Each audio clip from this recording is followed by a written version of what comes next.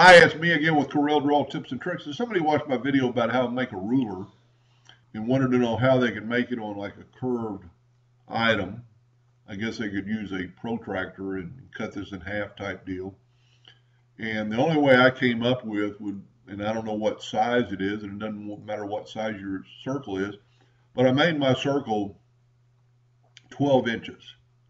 And I actually uh, put some more decimal places so I'd get a more accurate uh, decimal. And that's you go to Tools, uh, Options, and go to Edit. And right here, I've got five decimal places, which normally you don't need, but I expanded that out. And then I just took a a circle that's 12 inches and I went to arrange and I converted it to a curve. You have to convert it to a curve for this to work and then go to Windows Dockers Object Properties. And because you have it turned into a curve, you have this curved line right here. And it's going to tell you the length of this curve is 37.70439.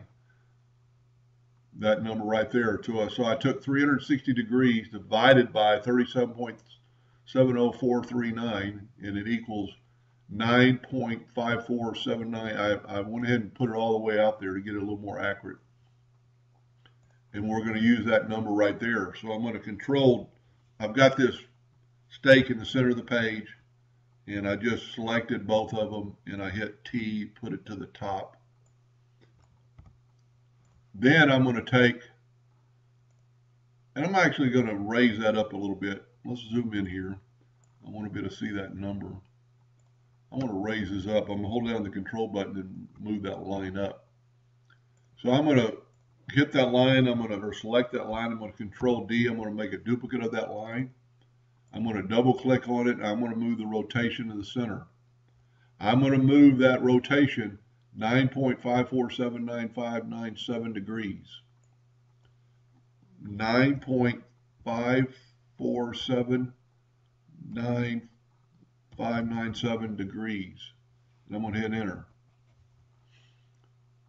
The way to check this, let's zoom in here a little bit more. Let's take our parallel dimension tool, and this is where you're going to be marking from, and this is a straight line going across there, and you get one inch. So you would just do that, and if you wanted quarter of an inches, you'd have to, you know, play with it more. But if you wanted inches marks around a circle, regardless of what you're going to do. And this would be a pretty cool case if you held down the control button and made a line and hit P and put it in the center of the page. You could actually delete this bottom part and then delete your outer two lines and you could have a an old school protractor with one inch marks on it. Anyway, I hope that helped the person ask a question, and thank you for watching.